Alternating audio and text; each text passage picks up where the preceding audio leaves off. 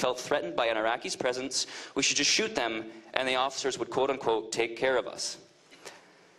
By this time, many of the Marines who were on their second or third tour had suffered such serious psychological trauma, having watched friends die and lose limbs, uh, that because of these experiences, they were moved to shoot people who, in my opinion, were clearly non combatants. There was one incident when a roadside bomb exploded, and a few minutes later, I watched a Marine start shooting at cars that were driving down the street hundreds of meters away and in the opposite direction from where the IED had exploded. we were too far away to identify who was in the cars, and they didn't pose any threat to us.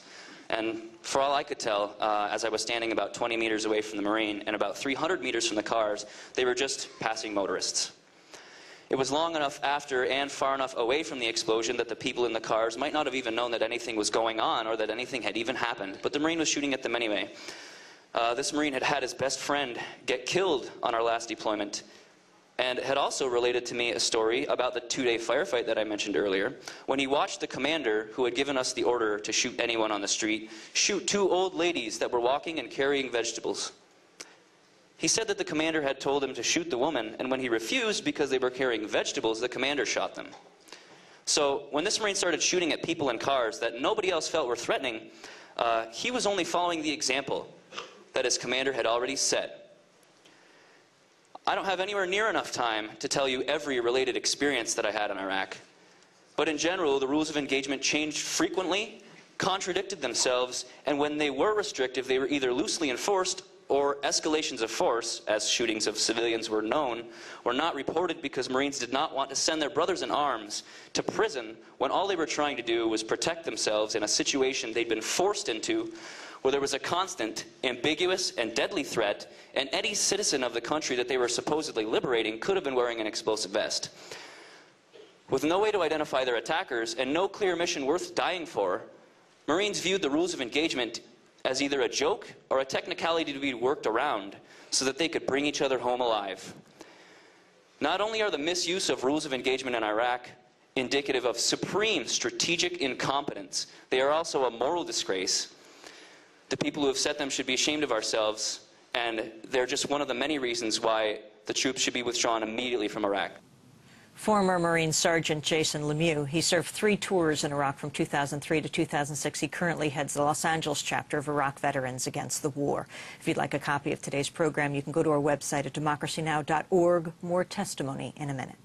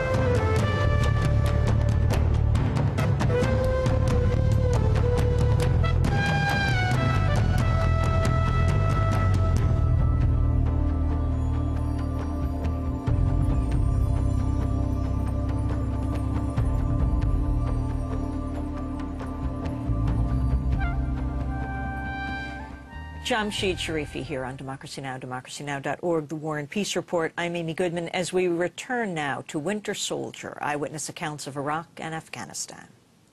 My name is Jeff Millard. I'm the Washington, D.C. chapter president of Iraq Veterans Against the War. I spent nine years in the New York Army National Guard. Thirteen months of that was spent as a sergeant in Operation Iraqi Freedom, stationed at Forward Operating Base Speicher, the majority of that time. At the end of my tour of duty and the end of my military career, I went UA for nine months. They mailed me my honorable discharge in May of 2007. It's no surprise for anyone who's been in the military since September 11th, especially not for those of us who have been deployed since September 11th, that the word Haji is used to dehumanize people, not just of Iraq and Afghanistan, but anyone there who is not us. We bought Haji DVDs at the Haji shops from the Hajis that worked there. The KBR employees that did our laundry that were from Pakistan became Hajis. The KBR employees who worked inside of our chow halls became Hajis. Everyone that was not a U.S. force became a Haji. Not a person, not a name, but a Haji. I used to have conversations with members of my unit, and I would ask them why they use that term, especially members of my unit who are people of color. It used to shock me that they would. And their answers were very similar almost always, and that was, they're just Hajis, who cares? And that came from ranks as low as mine, sergeant, all the way up to lieutenant colonel in my unit. The highest ranking officer that I ever heard use these words was the highest ranking officer at, during my deployment in Iraq, General Casey. During a briefing that my unit, the 42nd Infantry Division Rear Operations Center at FOB Speicher, gave to General Casey, I heard him refer to the Iraqi people as Hajis. I've heard several generals, including the 42nd Infantry Division Commander, General Taluto, and my own general that I worked for, Brigadier General Sullivan, use these terms in reference to the Iraqi people. These things start at the top, not at the bottom. These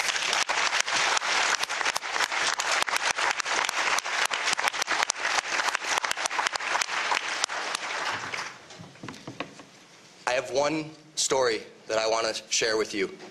One of the most horrifying experiences of my tour that still stays with me was during a briefing that I gave. It was actually in the early summer of 2005. For those who've deployed to Iraq or Afghanistan, we know that a year becomes a month, a month becomes a day, and a day becomes a second, a second that repeats over and over and over again, not just for your tour, but the rest of your life.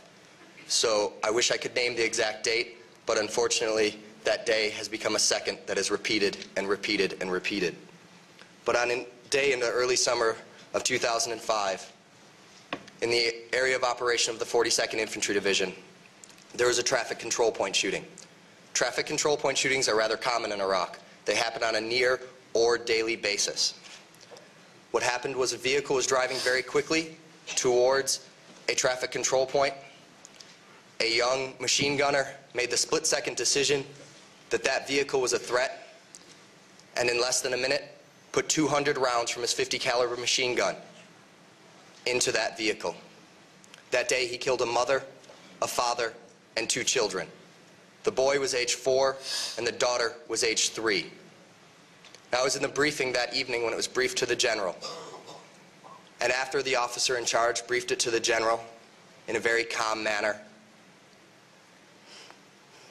Colonel Rochelle of the 42nd Infantry Division, DISCOM commander, turned in his chair to the entire division level staff and he said, and I quote, if these Hajis learned to drive, this wouldn't happen.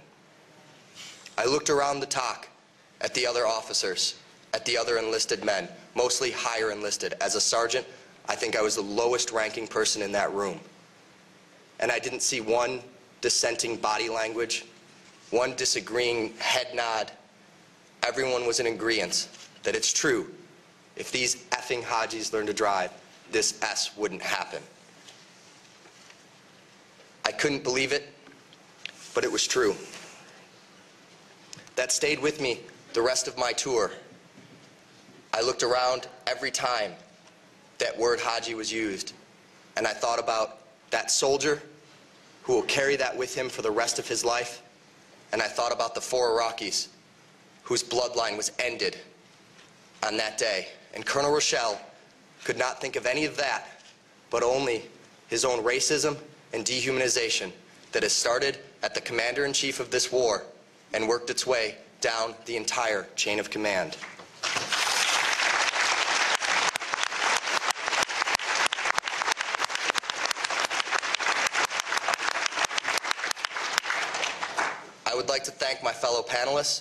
And everyone who has testified and offered testimony that will not be heard publicly for Winter Soldier, Iraq, and Afghanistan eyewitness accounts of the occupation.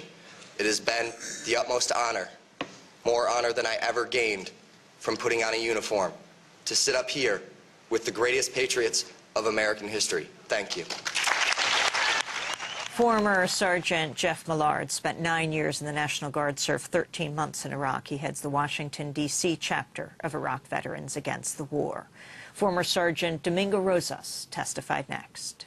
My name is Domingo Rosas. I was a sergeant. I was deployed to Iraq with the 3rd Armored Cavalry Division.